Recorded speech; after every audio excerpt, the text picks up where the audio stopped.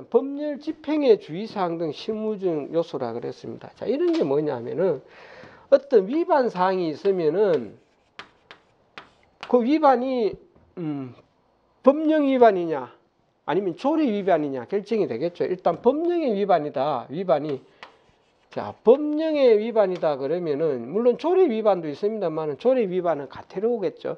자 법령의 위반인데 어, 만약에 벌금이나 또는 징역을 하기 위해서는 입건 조치를 한다 그랬죠 우리가. 뭐 보통 실무적으로 입건 조치를 한다 그렇게 합니다.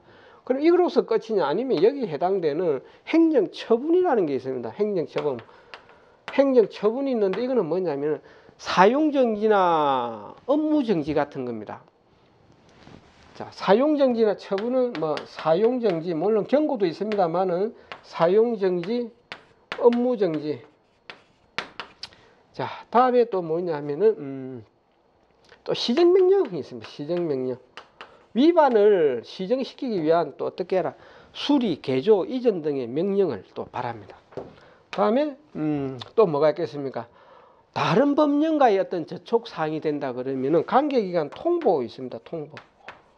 음, 관계기관에 통보하는 의무. 자, 이런 것들을 징역이나 벌금을 했다 그래가 이것을 다 면제시켜 주는 게 아닙니다. 벌금에 관한 이것도 검찰에다가 저희들이 특사경 업무를 업무를 정리해서 그렇게 보냅니다. 그러면 여기서는 저희 행정청은 또 행정처분을 따로 합니다. 거기 해당되면 모든 게 행정처분을 내는 게 아니고 그 어디 제조소 등에 대해서는 행정처분을 내릴 수 있는 위반이 8종이 있습니다. 거기 해당되면은 처분을 내리고 또 이 처분을 내린다는 것은 당연히 시정명령이 있어야 되겠죠. 이 위반을 해소하기 위해서.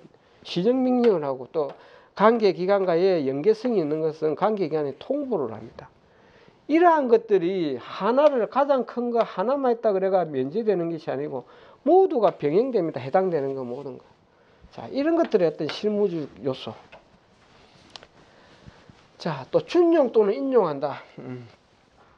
과연 우리 법에서는 구, 예를 들자면 내하구조나 불륜죄에 대해서는 그 건축법이 다르도록 그렇게 하죠. 그런 게 이제 어, 타법령이나 이런 것들을 다른 공법들을 준용하거나 인용하는